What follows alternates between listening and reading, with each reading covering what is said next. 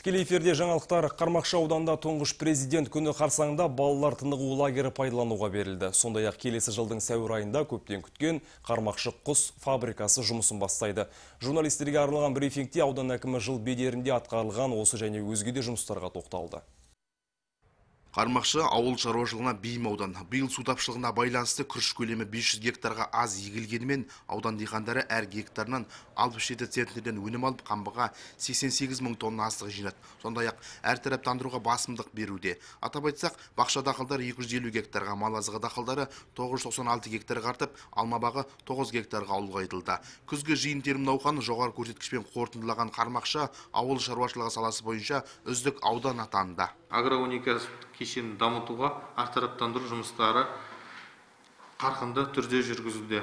Бұл сала мемлекеттік қолдауымен жақсы дамуда. Жыл басынан 1 миллиард 76 миллион теңге көлемінде субсидия есептеліп берілді. Ағымдағы жылы жалпы егіс көлемі 24 мың 747 гектарды құрап өткен жылмен салыстырғанда 1835 гектарға артты.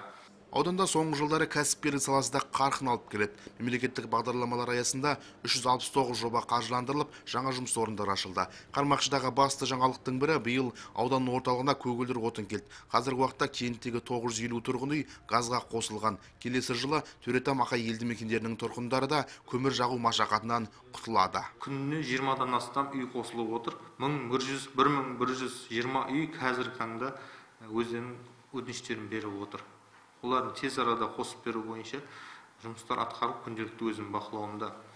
Газ саласын ары қарай дамыту бойынша да үлкен мәселелер қозғалып жатыр.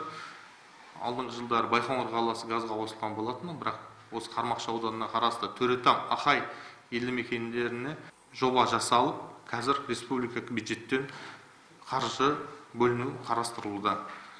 Келесі жылы бюджет бөлінгенде келесі жылдың осындай жылыту маусымында ол да газ тартылады деген жоспар бар Тағы бір қуанышты жаңалық. Алдағы айда балаларға арналған демалыс лагері пайдалануға беріледі. Сонымен қатар Ақтөбе ауылындағы қармақшы құс фабрикасы келесі жылдың сәуір айында іске қосылмақ. Аудан әкімінің айтуынша қазір құрылыс жұмыстары толықтай аяқталған. Қажетті құрылғыларын алу жұмыстары жүргізілуде.